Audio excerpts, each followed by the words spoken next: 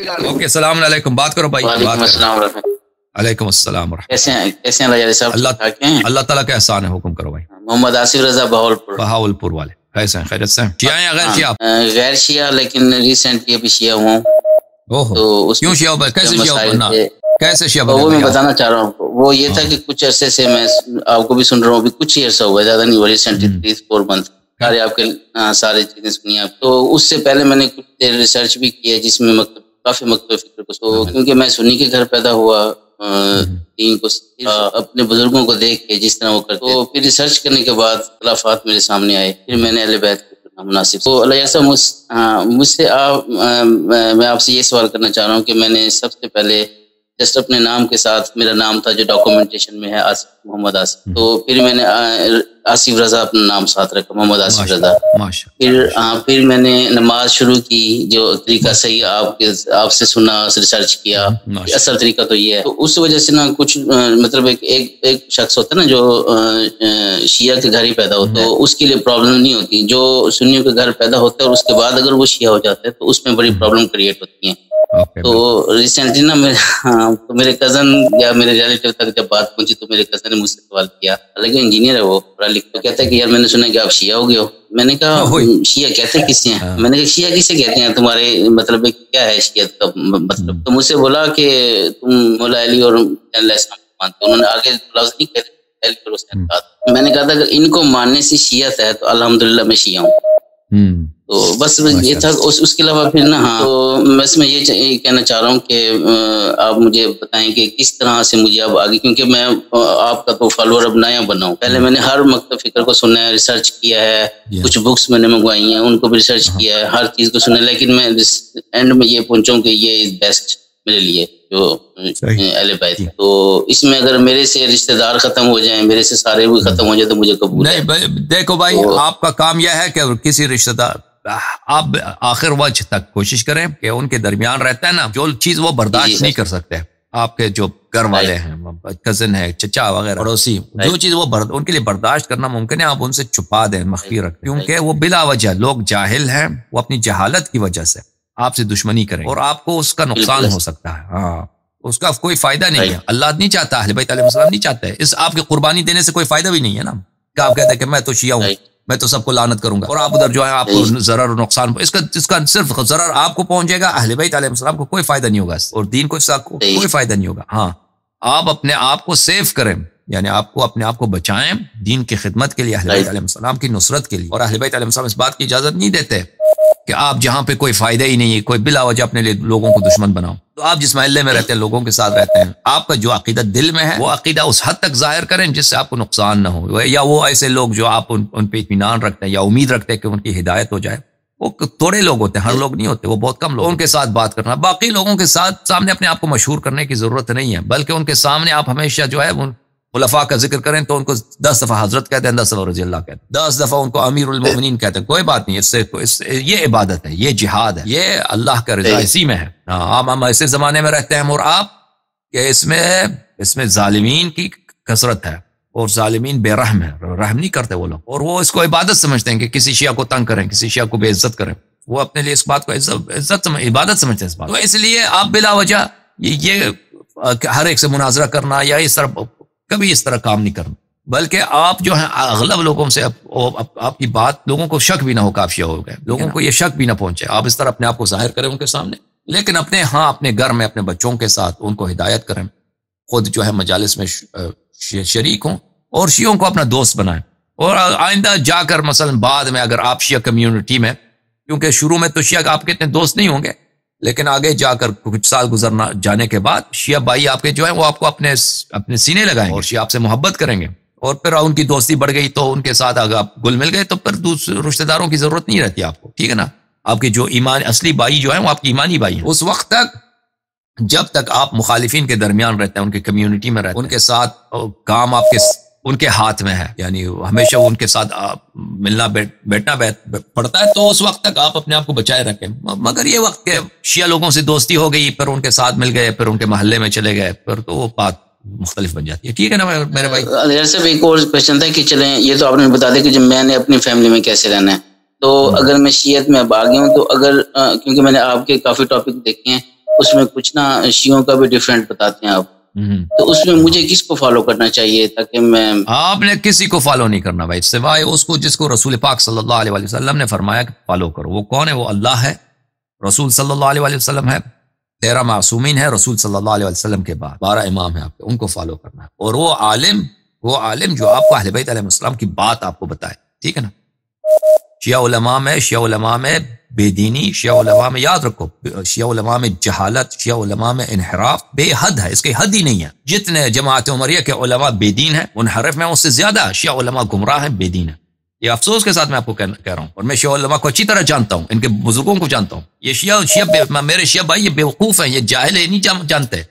یہ سمجھتے ہیں کہ ان کے علماء جو بڑے بڑے بڑے شہر ہیں، بہت اچھے ہیں۔ نہیں، سب سے بدترین لوگ دنیا میں، دو لوگ ہیں، دو طائف ہیں۔ دو طائف ہیں جو سب سے سب سے زیادہ نجس ترین لوگ ہیں۔ یہ عالم اسلام کے علماء دونوں فریقوں کے یہ دو طائفے بنتے ہیں نا۔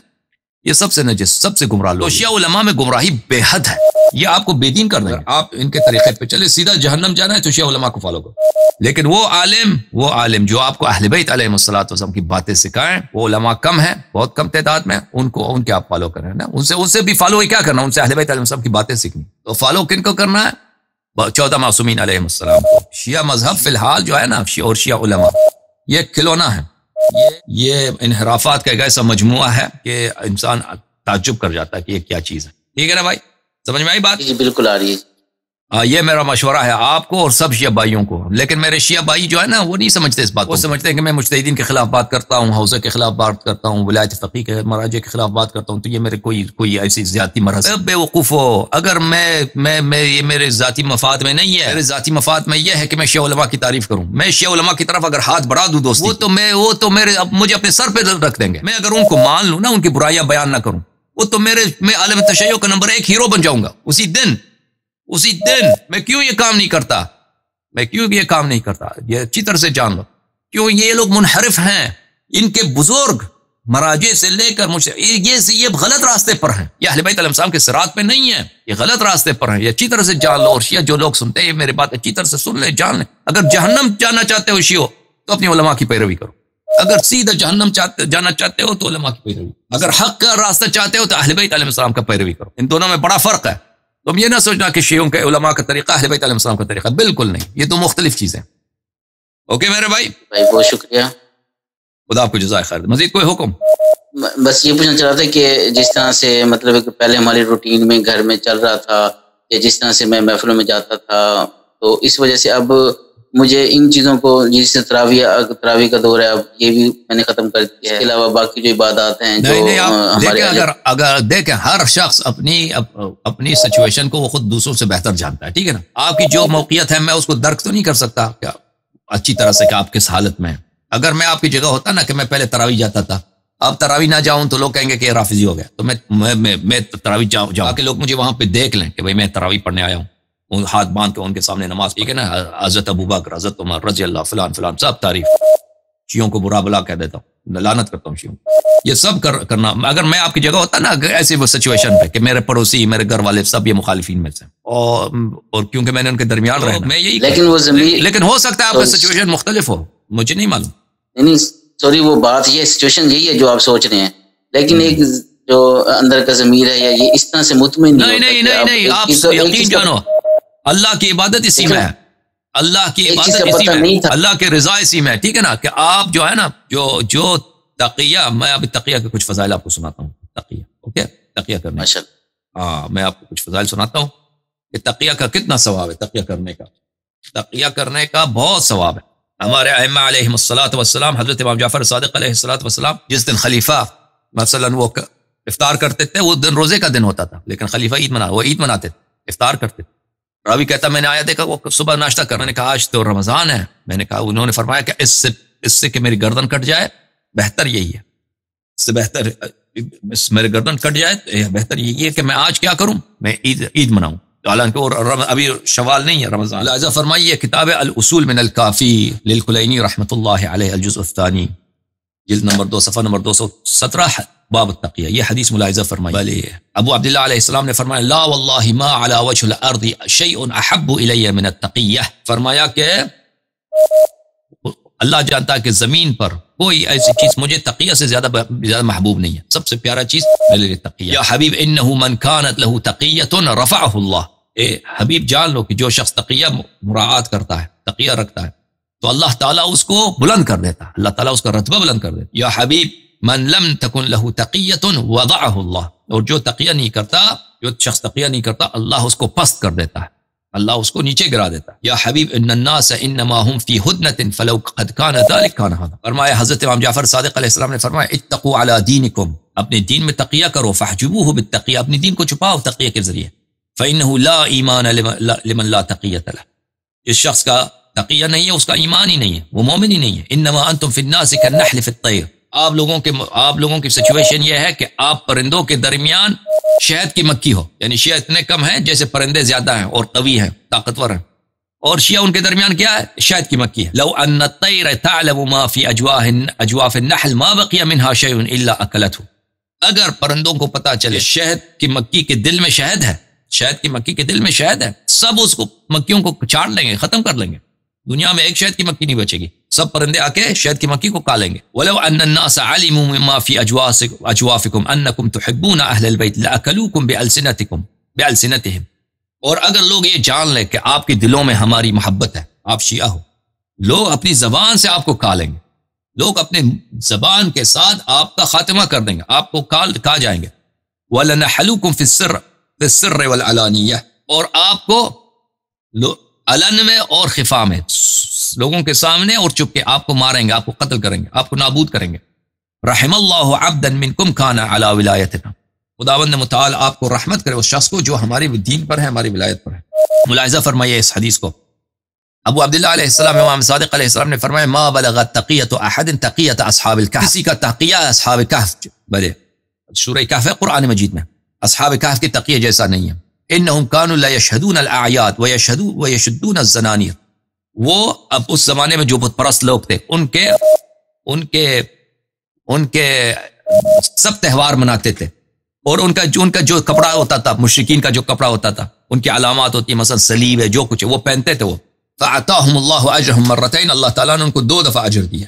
بلے ملاحظہ فرمائیے کہ راوی کہتا ہے کہ جعلت فداک انی اللہ القاک فاصرف وجهی کراہتا اشق علیک راوی کہتا ہے کہ میں میرے مولا حضرت امام جعفر صادق علیہ السلام قبلتو استقبلت ابا عبد الله عليه السلام في طريق فعرضت عنه بوجهي ومضيت.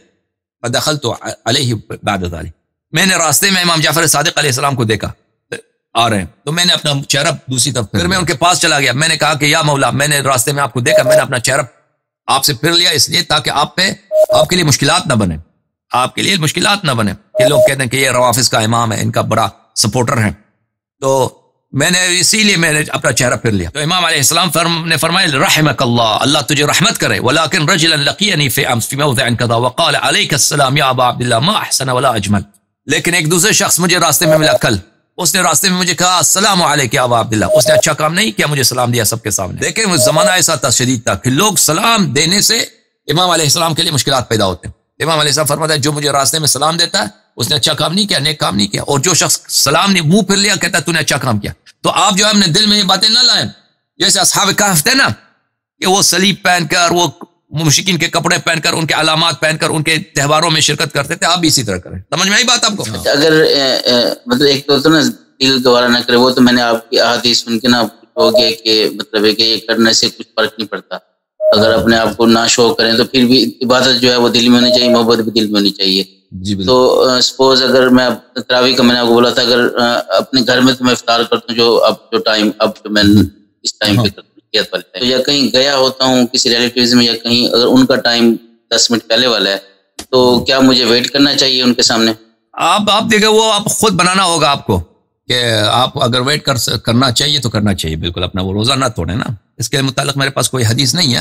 آپ تقیہ میں آپ اپنا روزہ جلدی توڑ سکو اس لیے اپنا روزہ بچائیے کسی طریقے کسی بہانے سے۔ مثلا دیر وہاں پہنچ جائیے راستے میں رش تھا بھائی میں دیر سے کوئی کوئی طریقہ بنا سکتے نا انسان وہ تو ہاتھ میں اچھا ہمارے پاس اگر یہ جو لیکن لیکن لیکن اگر بالکل آپ بالکل اگر آپ کی زندگی خطرے میں ہے تو بالکل آپ اسی وقت افطار کیجیے امام جعفر صادق علیہ السلام عید کے رمضان میں عید منایا۔ کیونکہ خلیفہ نے عید بالکل۔ اچھا اگر اس طرح سے کہ جس طرح سے ہمارے مطلب ریلیٹیوز جو ہیں وہ تو اس ٹائم پہ کھول رہے ہیں۔ اگر ہم تھوڑا سا بھی اگر لیٹ کر دیں کسی کے سامنے تو ان کے آ ہاں کہ وہ حدیث ہے ہمارے اہل سنت بھائی کی تو جو کہتے ہیں مکرو ہو گیا ہے آپ روزہ لیٹ ہو گیا ہے۔ اس طرح کیا ان کے بہانہ بنا سکتے ہیں نا کہ آپ ادھر وقت پہ نہ پہنچے نا آپ راستے میں آ رہے ہیں موٹر سائیکل پہ۔ تھوڑی دیر دیر سے پہنچے نا آپ فون کرتے ہیں کہ بھائی میں مجھے کام پڑ گیا میں ذرا دیر سے پہنچ رہا ہوں پھر اکٹھے ہیں۔ ہاں اس طرح تو کر ہاں۔ بالکل اللہ سلامت آپ۔ ہاں اوکے اوکے زندہ رہیں۔ بہت مہربانی آپ خدا جی، حافظ۔ اللہ حافظ۔